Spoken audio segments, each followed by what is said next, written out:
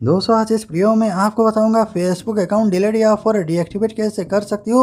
वैसे अभी Facebook delete या फिर डीएक्टिवेट करना बहुत ज़्यादा आसान हो गया है। वैसे आप क्यों डिलीट या फिर डीएक्टिवेट करना चाहती हो? रीज़न क्या है? रीज़न पढ़ाइए मूव ऑन करना चाहती हो ब्रेक लेना चाहती हो, जो भी आपका रीज़न है, ज़रूर से कमेंट करके बताना।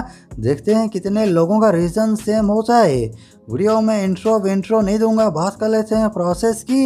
इसके लिए मैं आपको फेसबुक में लेकर चलता हूँ। जैसा कि मैं अक्सर वीडियो में कहता हूँ, यह वीडियो किसी और फ़ोन में चलाकर मेरे साथ साथ सारे स्टेप फॉलो कर लीजिए। ऊपर एक थ्री लाइन है, यहाँ पर क्लिक कीजिए। नीचे देखिए ऑप्शन है सेटिंग आइकन है। सेटिंग ऑप्शन के ऊपर यहाँ पर क्लिक करना है। जैसे यहाँ पर क्लिक करोगे और ये नया प्रोसेस है। और यहाँ पर देखिए मेटा अकाउंट सेंटर और यहाँ से फेसबुक और इंस्टाग्राम दोनों के अकाउंट मैनेज कर सकते हो। नीचे ऑप्शन है सी मोर इन अकाउंट सेंटर यहाँ पर क्लिक कीजिए।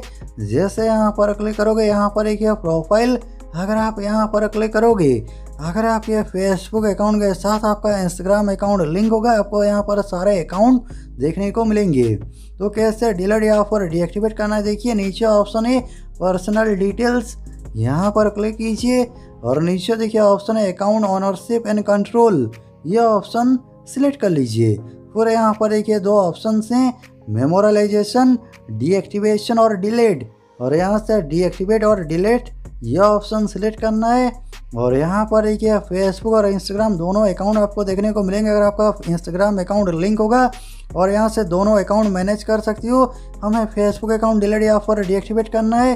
तो यहाँ से फेसबुक सिलेक्ट करना है। जैसे आप सिलेक्ट करोगे, यहाँ पर देखिए दो ऑप्शन है। डीएक्टिवेट अकाउंट डिलीट अकाउंट अगर आपको डीएक्टिवेट करना हो, यहाँ से डीएक्टिवेट सिलेक्ट करना है। अगर आप डीएक्टिवेट करते हो, आपका अकाउंट टेम्परारी डीएक्टिवेट हो जाएगा। जब आपका मन बदल जाए, वापस से लॉगिन करके आप रीएक्टिवेट कर सकते हो, ठीक है? अगर आपको फेसबुक अकाउंट डिलीट करना है, यहाँ से डिलीट अकाउंट ये सिलेक्ट करना है और 30 दिनों तक अकाउंट डीएक्टिवेट रहेगा 30 दिनों के बाद फेसबुक अकाउंट परमानेंट डिलीट हो जाएगा, ठीक है? तो यहाँ से आपको करना है कंटिन्यू जैसे कंटिन्यू करोगे, फिर से यहाँ पर करना है कंटिन्यू कंटिन्यू करने के बाद ये आपसे रीज़न पूछेगा, भाई क्यों डिलीट करना चाह रहा है? तो आप कोई भी रीज़न ले सकते हो यहाँ से। फिर यहाँ से करना है कंटिन्यू जैसे कंटिन्यू करोगे, यहाँ से फिर कीजिए कंटिन्यू हमें डिलीट ही करना है। डिलीट करने के लिए यहाँ पर देखिए, फिर ये आपसे पूछेगा, जो भी आपका डेटा है, उसे यहाँ पर डाउनलोड कर लो।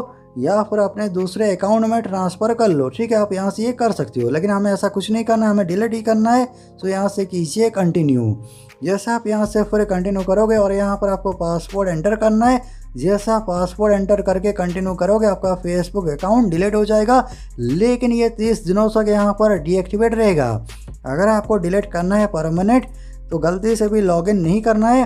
अगर आपका मन बदल जाता है तीस दिनों के अंदर फिर से लॉगिन करोगे, आपका फेसबुक अकाउंट फिर से रिएक्टिवेट हो जाएगा। लेकिन अगर आपको डिलीट ही करना है, आपको लॉगिन नहीं करना है तीस दिनों के बाद परमानेंट डिलीट हो जाएगा।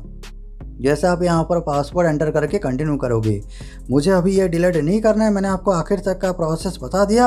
वैसे भी मैं आपको सच बताऊँ, मुझे पासवर्ड क्या है याद नहीं है, ठीक है? तो इस तरीके से आप कर सकती हो। तो ज़रूर से रीज़न बताना क्यों डिलीट करना चाहती हो या फिर रिएक्टिवेट करना चाहती हो। वीडियो अच्छा लगा, वीडियो पर लाइक करना शेयर करना। आपका दिन शुभ हो। जय हिंद।